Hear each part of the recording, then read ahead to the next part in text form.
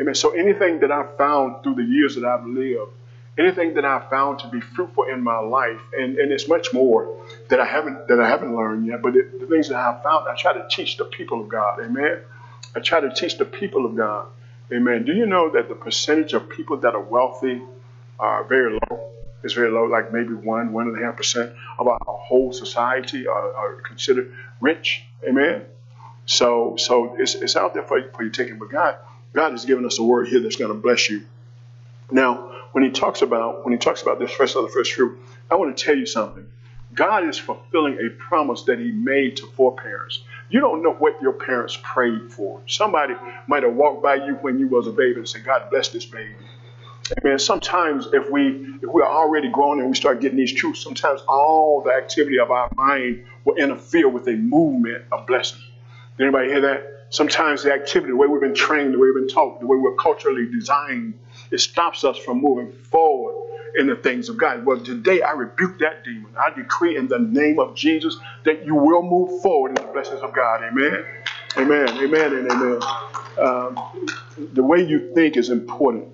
You know, that's why it's so important to have the mind of Christ. And I'm going to show you this.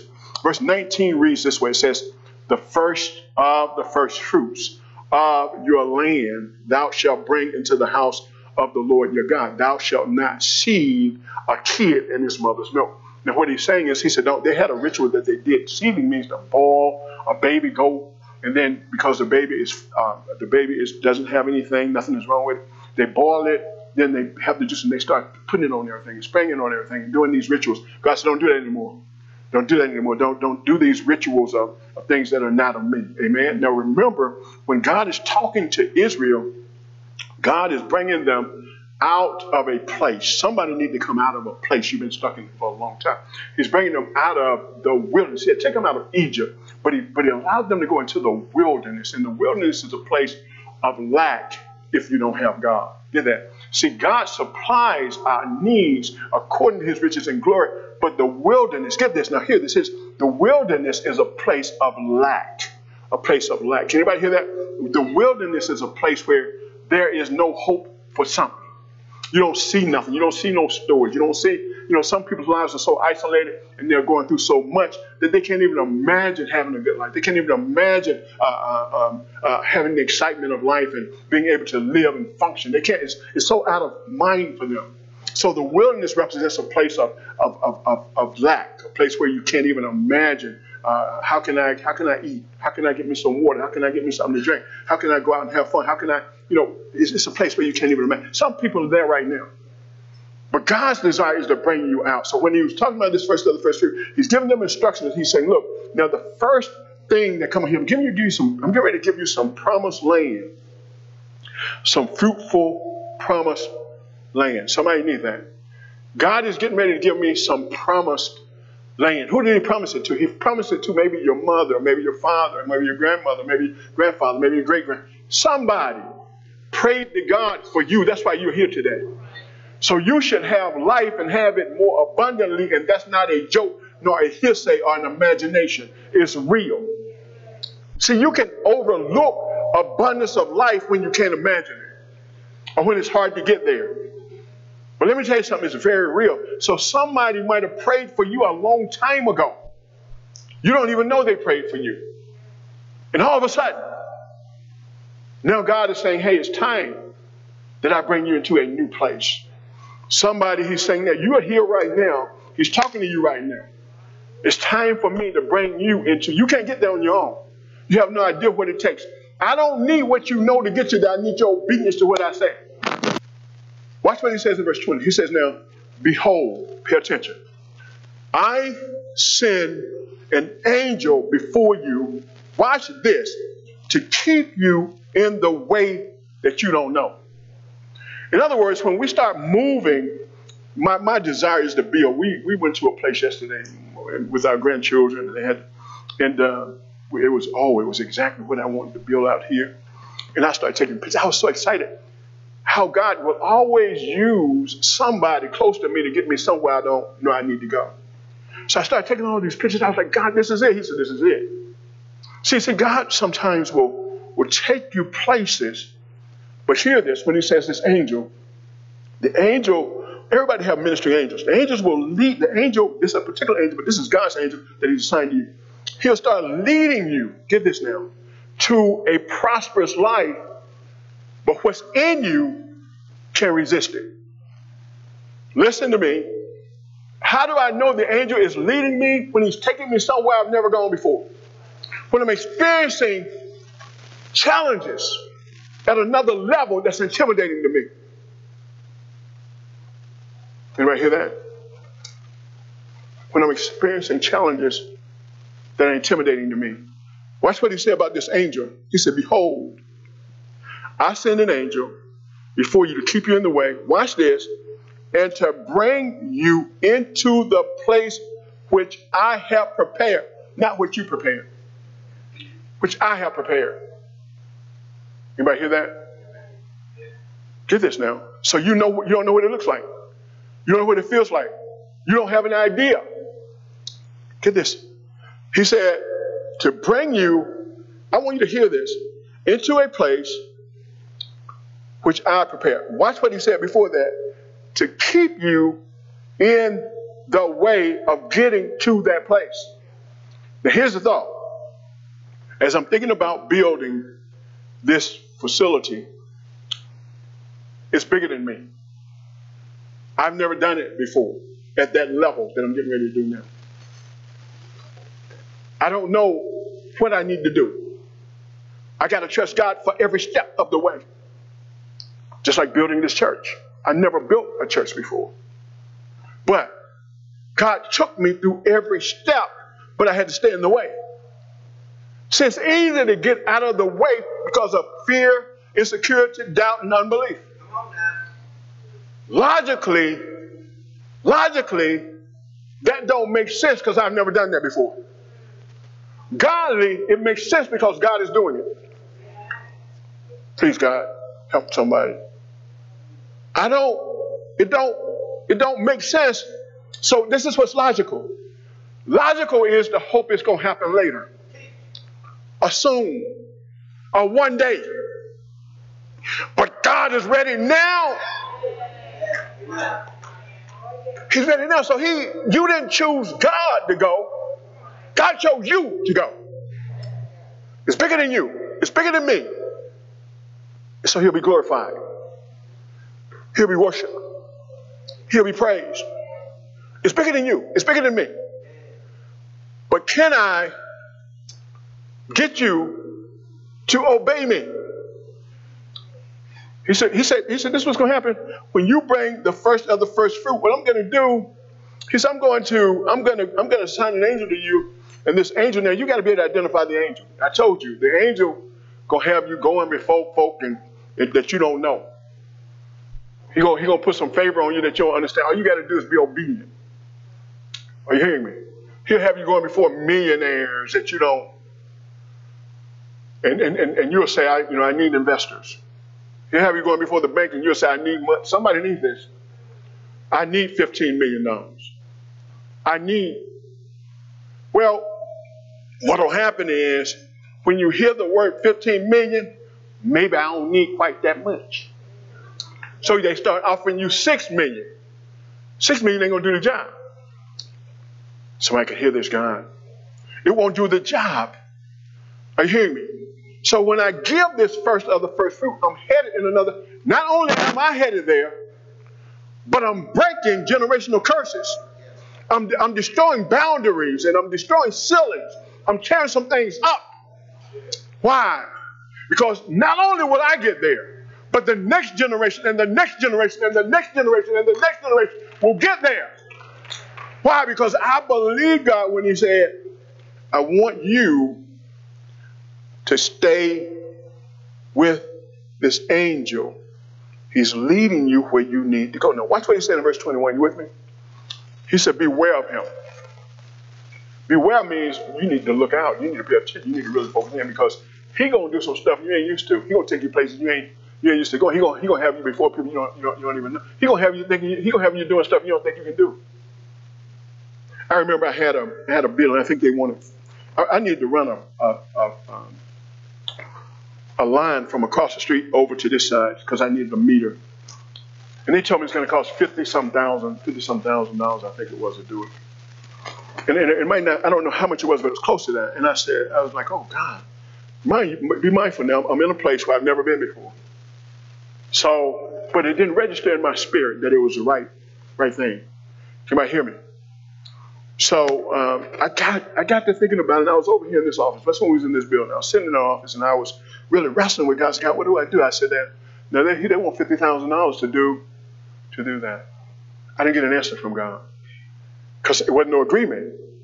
So I sit there and I, I, didn't get an answer that day. I went home and I, I, was about to sign the contract. I didn't sign it that day. I went home and I sit there and I said, God, I said, what do we do? Somebody need this. Now the angel gonna need you, remember? But you got to wrestle with God to find out what He's doing. You got to stay with God. You got to talk to God. Anybody listening? So I sit there and I got home. And then when I got home, I kept talking. So I finally, he finally let me go to sleep. So I woke up in the morning. And as I was coming up here, he said, call the county to see do you need that. Anybody listening? So I called the county. They said to me, uh, let's come out there and look at it. They came out here and looked at it, brought all the engineers. They said, well, Pastor, we don't think you need it on that side of the street. What we're going to do, we're going to put it right here on this side of the street. I said, oh. They said, we're going to charge you $2,100 to do it. Wait, wait, wait. But then they said, we're going to give you a grant for that. So you don't have to pay. We had, even when we went to get the permits, they gave us, but if I had not listened to the angel, See, I had people that were around me that I could have sent to get the permit. Somebody need this. But God said, you go. Because I had had so many glitches. Because everybody around me had never done what we had done before we were doing now. So they didn't know any better. But they thought they knew because I asked them to do it. So they want to go at it forehead and mess it up. so I go down to get these. And I want you to hear this. I go down to get them the permit. So we walk and I'm, I had a, I back then I had Fuller with me. um, Minister Fuller. Timothy Fuller. Sister Shonda's old husband. No. and uh, man, he was a, he was a foul ball. And we went in there, man, and he said he was talking to me. He's like, Pastor, I just don't know, but I believe they're gonna show you some favor. I just believe they're gonna show some favor. I mean, he had an anointing on him, but he was different. Uh, and I said, okay, we're gonna see. And then we're gonna go up in here. So we went in there, and he was quiet. I was quiet, and and and, and the guy that was over, he came out and he said, Hey, Pastor, I said, man. And I asked, I said, "Full dude supposed to know him." And you know, I whisper stuff. He said, he said, he don't want over the whole thing. I said, okay. That's what his name. so he, he came. He said, well, we gonna we made up our minds. We know you're out there trying to do something for the community. He said, we're gonna give you a grant. We're gonna give you a grant, Don. You don't have to pay it back. It's gonna. And I said, well, this is gonna be ten thousand. He said, yes, it's gonna be ten. He said, but you don't have to pay a thing. Over and over, the angel was leading me and messing me up because in my mind, I thought I would have to, but he said, No, I got you. But if I had never gone, if I had never gone, if I had never obeyed this angel, if I had never walked with this angel, I would never have gotten it. Anybody hearing me? He said, Beware of him. And that word beware is very powerful. Beware means to be on alert. Pay attention. You know your angel when he's leading you. Get this now, this is important when he's leading you into ways and places you've never gone, having you doing stuff you've never done. You'll never get what you get what you want if it's different than where you are if you don't go somewhere else. You'll never get what you want if it's different than what you want if you don't go somewhere else. Because if you look around, sometimes what you got is what you got. So the angel gonna pull you out of your comfort zone. Anybody with me? Now watch, he said, beware. He said, obey his voice, provoke him not. Now, how do you provoke the angel? By resisting the go, by trying to argue and debate, figuring it out. Now, of course, we're human. We're going to come short. But the thought is you got to find a place where you can settle down and you can really hear the voice of God without destruction.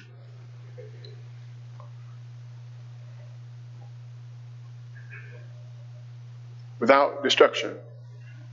I didn't say distraction, I said without distraction. See, see the voice of God in your, your thought patterns can be destroyed when it's trying to line up. The enemy literally comes to what? Still killing what? Destroy. He destroys that pattern of thinking as you're moving with God in a place you've never gone and to experience something you've never had. He said, Beware. Obey his voice, provoke him not. He said he won't pardon you. In other words, see, sometimes you are the one that's chosen by God for God to do something mighty through for many. But if you can't hear the voice of God, God can't use you. If you don't, oh, see, listen, if you don't, it's not that it can't be done, it means that wherever you got where you quit, it intimidated you. Wherever you gave up, it intimidated you. Timing and seasons are critical with God. Because, because see, there are so many factors that he had in place when we were building this. We had our electrician quit. He said, ain't, ain't there enough money, I ain't gonna do. I said, okay, man. I said, okay, well, you gonna quit right? He said, I'm quitting. I ain't gonna be up here no more. I'm done. That's all right. He quit on us. Joe Murphy, who was over the permits, took the license for the Word of God Christian Ministry Church. He said, Pastor, I'm going to get under this license. I'm going to carry it for you till you finish the church. I said, Joe, what you going to charge me? He said, I don't want, I can't charge it. Now, God's been too good to me. I said, Joe, I got to give you something. He said, well, you, can, you pray for me. You pray for me. See, see, see, see, this is the thing. When the electrician quit, I could have quit. But I couldn't quit because I got this angel telling me there's another way. Will somebody hear this guy? So he says, look at verse 22. If you shall indeed obey his voice, get this, and do all that I speak. I ran out of money when I was doing this. I ran out of money. We ran out of money. We ran out of money because I was building it bigger than what I was supposed to build and all that stuff. So we ran out of money. And so, so um, it got extremely difficult. As a matter of fact, it brought me to tears. I walked in this building, it was empty, and the shell was up. And I, I was in here by myself, and I, and I had sent everybody home because I knew I could no longer pay. And I began to weep. I said, God, I see, you know, I, I counted up the cost, and you are the cost. This is you. I said, but God, if you don't want to do any more, just give me peace. Give me peace. God um, sent a man from the bank. Bank told me they weren't going to give me no more money because they didn't have enough members. They said, we're not going to give you no more money, uh, Pastor. I said, okay. I said, but I need some more money to get it finished. So he sent a man out. He was an engineer. He came out. He looked at it. And he realized that I had done way more than what we had agreed to do. He said, oh, I'm going right back and take this to them. He took it to them, and within a couple of days, we had we had the money. They had told me that they were not going to give it to me. We fasted. We came in and we fasted. We walked this building. We fasted. They said, we're not going to win So let me tell you what God did before He gave me the money. So I need this. Come bless you. God said, go and hire the contractors. I'm going to pay them. I said, what? He said, go out and hire, hire your carpenter, hire your, because all the interior had to be done. Hire your sheetrock men, hire your ceiling men, hire everybody you need, and I'm going to pay them. That angel again. Isn't that crazy? See, God don't, see, faith don't move by what you got. It moves by obedience to God. So I hired him. I got tried to get the best one. Like I said, man, give me. I, I, went. We went. We got folk in here, man, and they went to work. And this was before. Get this. Before I had gotten that check, I hired them. By the time there was time to pay them, guess what was in the in the, in the account? The money to pay them. This is real. But see, see, this is this right here is real. You, you have to you have to take God at His word and watch Him do miracles in your life. God is able. So he says, he says, obey his voice and do all that. So when God told me to hire these folk, and they start moving, those boys, those, those boys came in here, they were moving so fast with this sheetrock. When we put this wall up, they were moving fast with that. We ordered those floors, they were moving fast with that. I wasn't supposed to put the balcony in. I said, I'm putting the balcony. I put the balcony on both sides. Why? Because this angel kept on saying, let's do it. God will provide. Somebody needed God. Somebody needed. To see, you're stuck in a place where you don't belong anymore. You're not comfortable. It's a sad place. You're downtrodden. Every time you go in the house, you want to make some changes. Every time you get in your car, you want to make, every time you look at your family, you want to make some changes. You just want to make some changes, but you, you're afraid because you think you ain't got the money, but you got the faith. If you got the faith, the money will come. So he says, he says, verse 22, let me do this. But if thou shalt indeed obey his voice and do all that I speak, and listen now, obey his voice, but he's speaking what I say. I will be an enemy unto your enemies. Anything that try to stop you. I had people come up here. I had many preachers to come up here. Some would say some crazy stuff. Just crazy, crazy son of a gun. Then I had some that were, I had this one old man, right, right when he got tight. When he got real tight, when my when my faith was really on the on the line, when I was shaking, I was really going through. I was like, God, um, this woman brought her daddy up here. He, he couldn't drive no more. And I was standing on that side, but the walls went up. Yeah, he came in here, he said, uh, The Lord sent me to talk to you. I said, Yes, sir. What did he, what did he want me to hear? He said, uh, He told me to tell you he going to get it done. I wept like a baby. I knew it was from God, and I knew I needed that moment of encouragement. I literally wept. He, that man grabbed me and held me because I would have fallen. I would have fallen if he hadn't grabbed me because the Spirit of God was so powerful. I wish somebody could hear me. See, you got to stay with God. God can do it if you can just keep on going, keep on hearing, keep on obeying. He said, he said, I had some, I had some, I had some. I had one lady when we went to zoning, she said, ain't there a pond on there, some water on the land? I said to my wife, there's ain't no water on the land. There's water on the land. I went one day and I was out there walking. I went down deep in there. I said, this is what she was talking about. This is what she was talking about. And it, and it stays there for some reason. I don't know where that water can stay there. I don't think that even when it rains, it don't it don't replenish itself. It doesn't go down. So it was on the land, but but then they, they didn't even they didn't even address the issue. But we, she was, she was, we had some people that were against it, but God said, I'll be an enemy of your enemies. You have to worry about your enemies. Don't, you're supposed to love your enemies. Don't get caught up in who don't like it. You, let me tell you something. You'll be surprised at who you're. It's some envy hearted people around me. I mean, it is. I mean, even in here, some people that just can't. That's okay. They can't stand the movement of God. It's okay. It's, it's okay. But let me show you this now. He says, then I'll be an enemy unto your enemy, and, and an adversary unto your, unto your adversary. Look at verse 23. He said, For mine angel shall go before you and bring you into the Amorites. Now, these are the seven tribes, not tribes, I'm sorry, seven nations that were in the promised land. The seven nations that was in the promised land. He said, I'll bring you in unto the Amorites, the Hittites, the Perizzites, the Canaanites, the Jebusites, and the Hivites. Amen. This is what he said he's going to do. He said, I'm going to take you, get this, guys, hear this. Hear this now. Got to hear this. So I'm going to take you places where what, you, which, what I want you to have is. God always wants you to have more than you can ask or think. I'm taking you places, get this now, where what I want you to have, I'm taking you before people. Please hear this. Please. Because I, I, that's what this is another intimidating factor. You can say, I don't want nothing nobody got. This ain't your business, it's God's business. Somebody need to hear that. See, this ain't whether you want what they got or not, it's what God wants you to have. Please hear that. You don't ever get arrogant and say, oh, yeah, God gave me what was there. No, no, no. God is doing this for his glory so his people will have sources and resources. Amen?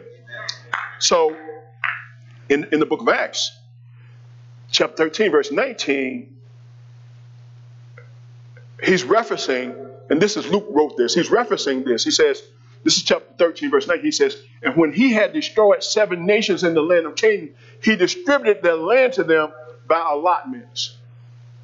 See, see in other words, see, God will, will move some stuff because of what you're supposed to have. Hallelujah. It's hard to hear.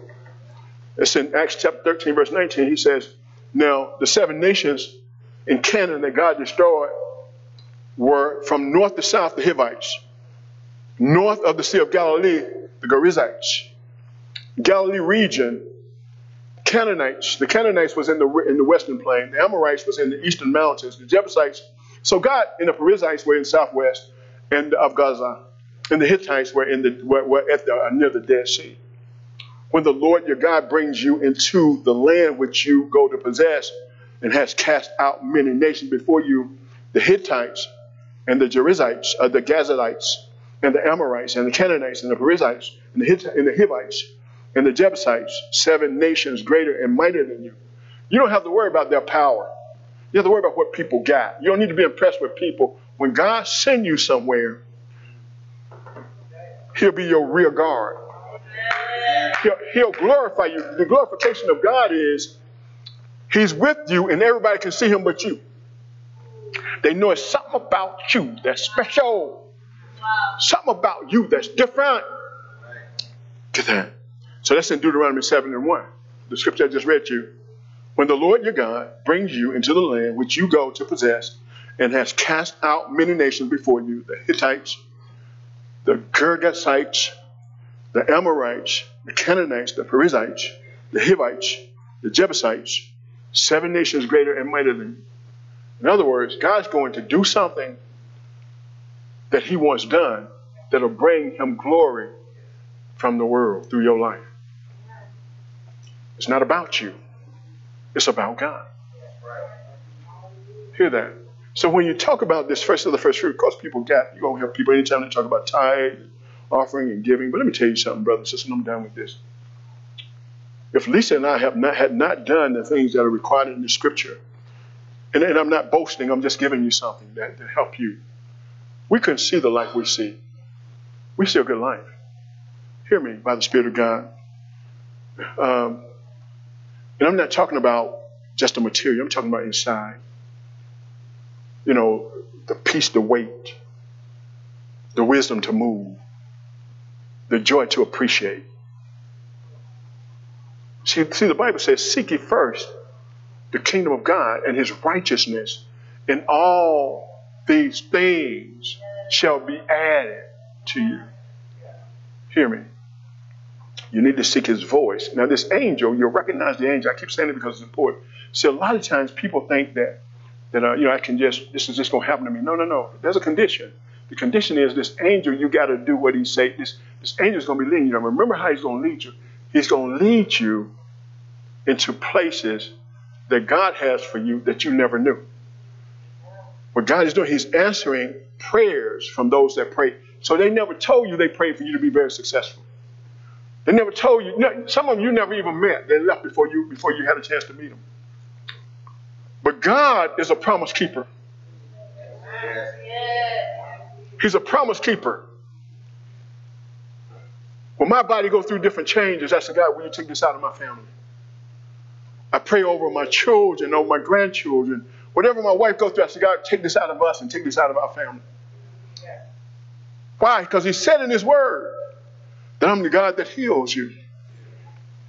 Wherever there's poverty or sickness, I say, God, will you take this out of our wherever there's disorder and disease of mind, I say, God, will you please take this out of our family?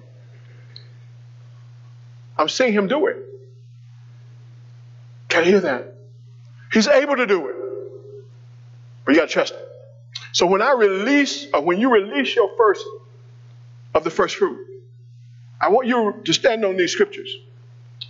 But as you stand on these scriptures, your life is going to begin to take you in another direction. There are people who've had dreams for a long time. You had ideas, and, and, and now you see your children doing things, but, but God ain't through with you yet. God can still Glory to God. God can still bring it to pass. The question is, can you believe him? If you can believe him, say, Yes, Lord. Yes, Lord. Somebody missed that? I'll do it again for you. God can still bring it to pass.